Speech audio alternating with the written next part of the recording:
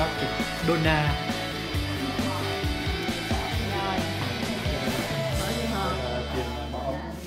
bán đồ da sale rồi từng này ông rồi cất Chờ đi, để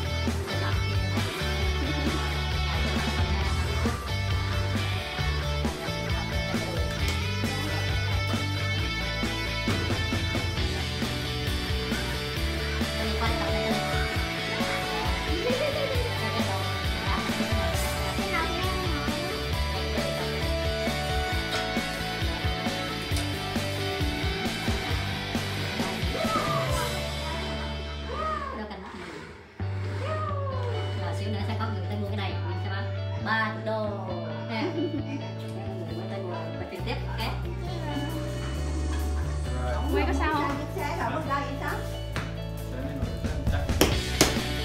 Để xe rất là nhẹ không em em chiên cái này nè